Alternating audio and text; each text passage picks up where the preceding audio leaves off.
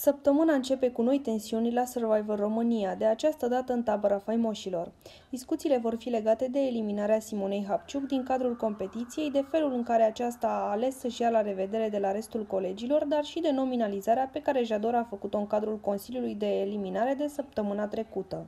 Simona Hapciuc a fost eliminată de la Survivor România, iar în momentul în care a plecat, aceasta a refuzat să-și ia la revedere de la toți colegii, evitând interacțiunea cu Sebi, Jador și Culiță Sterp.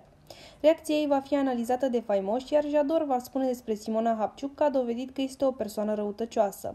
Simona este un om răutăcios. A plecat. Te pupăm, pa, va spune Jador.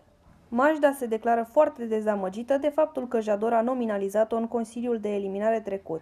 Faimoasa considerând că nu este o verigă slabă și că a dovedit acest lucru de mai multe ori pe traseu.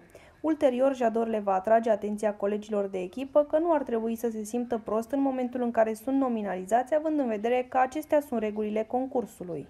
Atâta timp cât suntem într-un concurs și trebuie să ne votăm între noi, nu are nimeni de ce să se supere, spune Jador.